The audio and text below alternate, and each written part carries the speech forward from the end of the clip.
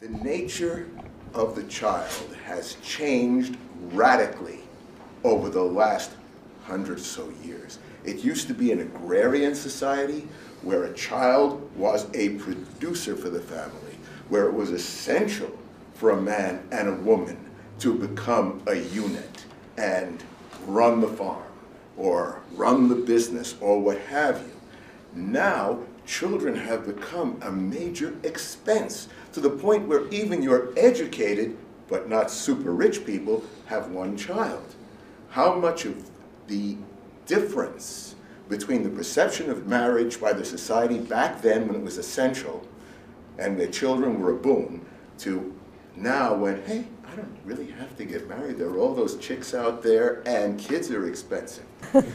Your thoughts, Harvey? So, um, you know, look, the day, all of the survey evidence suggests that people are still, they still like the idea of marriage and they still like the idea of children. I was just looking at um, recent survey from uh, Pew Center for Research um, interviewing this millennial group, the people in their 20s and early 30s, and you know, still the large, very large majority want these things. So even if it is expensive, even if it's not necessary, and it isn't, uh, uh, people still want it.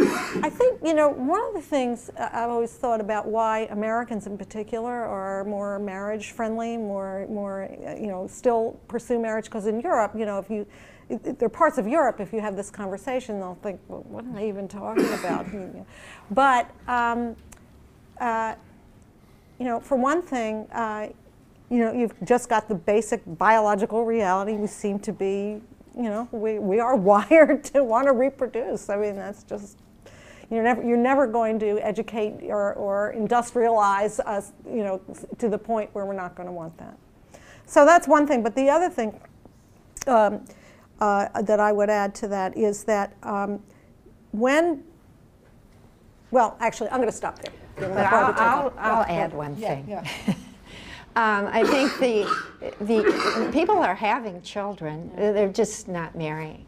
So, um, so I would say the desire for children remains extremely strong no matter how much, how expensive. It's usually not something people take into account when they procreate. But, but marriage is not necessarily important to having children for, for a growing number of people.